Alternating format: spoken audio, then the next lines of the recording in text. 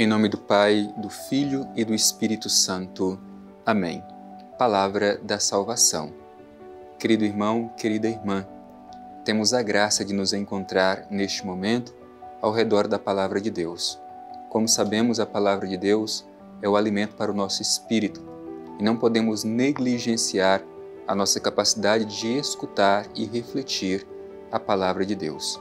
Por isso, o Senhor nos concede este momento oportuno para que possamos permitir que a Sua voz ressoe em nosso coração.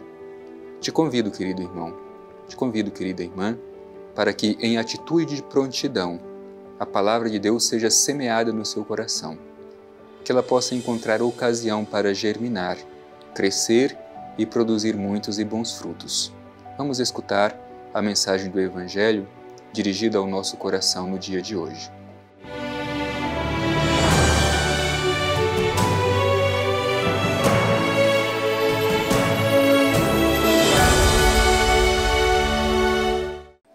Proclamação do Evangelho de Jesus Cristo segundo Marcos. Glória a vós, Senhor. Saindo dali, foi para a sua pátria, e os seus discípulos o seguiram. Vindo o sábado, começou a ensinar na sinagoga, e numerosos ouvintes ficavam admirados, dizendo: De onde lhe vem tudo isso? E que sabedoria é esta que lhe foi dada? E como se fazem tais milagres por suas mãos?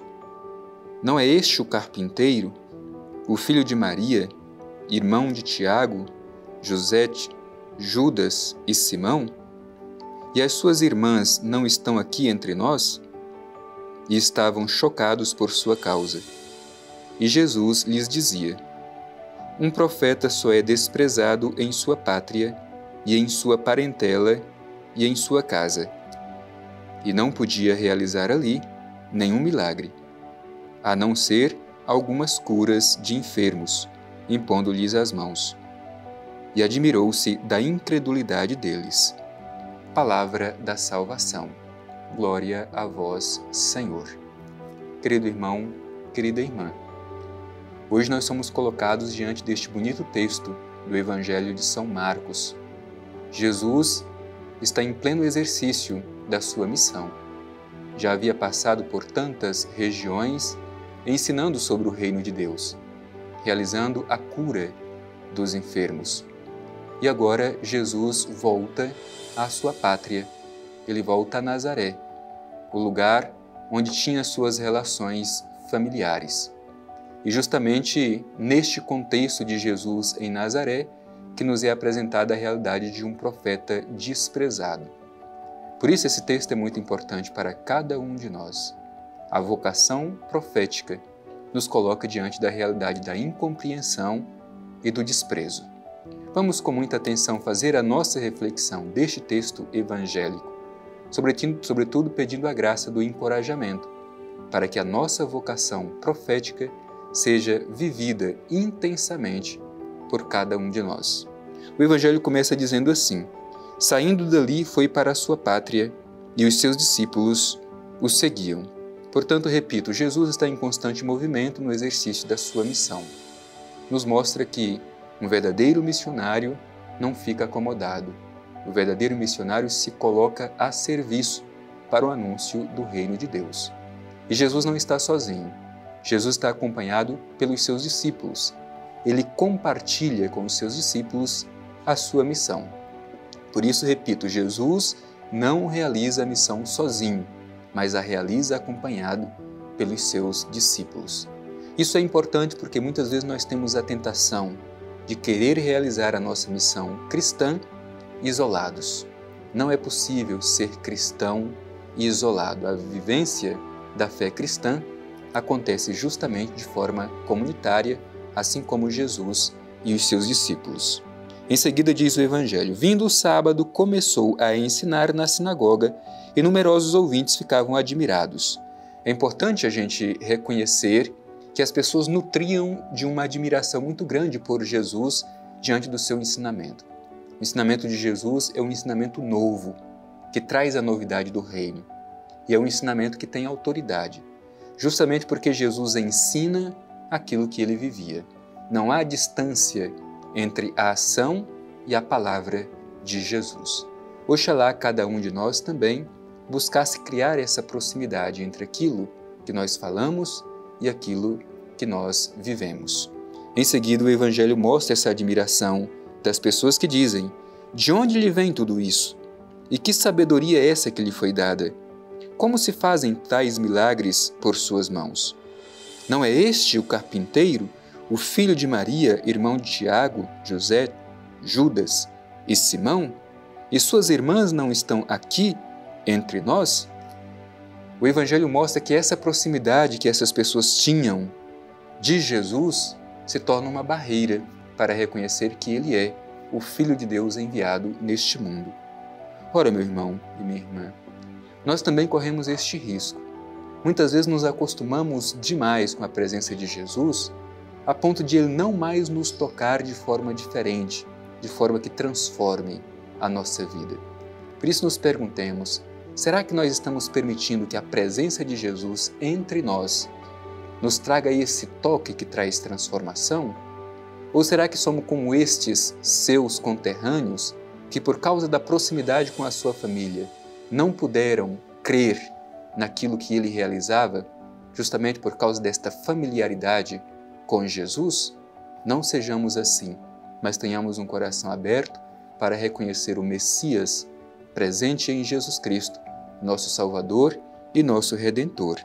Por isso, em seguida, diz o Evangelho: estavam chocados por causa dele. E Jesus lhes dizia: um profeta só é desprezado em sua pátria, em sua parentela e em sua casa. Portanto, um profeta, a vocação profética, deve colocar o profeta diante desta realidade do desprezo e da incompreensão. É importante lembrar que todos nós, pelo batismo, também nos tornamos profetas e profetizas. Não nos esqueçamos disso. Um profeta é desprezado. Um profeta muitas vezes é incompreendido. Um profeta sofre diante das realidades deste mundo. Por isso, meu irmão, minha irmã, coragem, não perca o entusiasmo pela missão quando você não for compreendido, quando você for menosprezado, quando você for desprezado. O próprio Jesus, o nosso Mestre e Senhor, passou pela experiência do menosprezo, do desprezo. Por que nós, seus seguidores, queremos prescindir desta realidade? Um profeta só não é desprezado, aliás, o profeta só é desprezado na sua pátria, entre os seus familiares, na sua própria casa. Então não esperemos reconhecimento. É preciso saber que a vocação profética nos coloca diante desta realidade. Somos todos nós profetas e profetisas.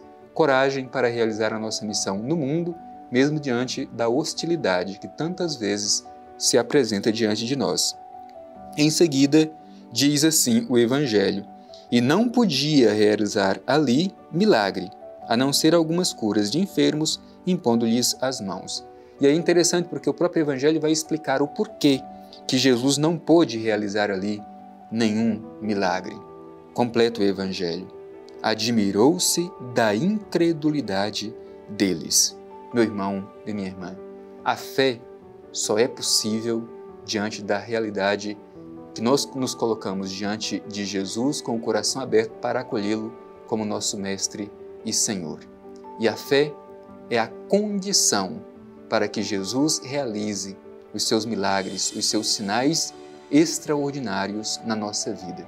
Por isso, verifiquemos como anda a nossa fé. Ali, na sinagoga de Nazaré, Jesus não podia realizar milagres. E por quê? Porque ele não tinha força, porque ele não era o Filho de Deus? Não, por causa da incredulidade, por causa da falta de fé das pessoas que ali estavam. Por isso, peçamos ao Senhor, diante deste Evangelho, que sejamos revigorados na nossa fé, que tenhamos raízes profundas em Jesus Cristo. Somente deste modo poderemos ser transformados pela força do Senhor em nossa vida. Deixemos de lado a incredulidade, renovemos a nossa fé no Senhor Jesus que vem ao nosso encontro e peçamos, sobretudo, a graça de vivermos a nossa vocação profética, mesmo que passemos pela experiência da incompreensão e do desprezo. Um profeta é desprezado por causa da sua missão de anunciar o reino de Deus, a sua missão de testemunhar nosso Senhor Jesus Cristo.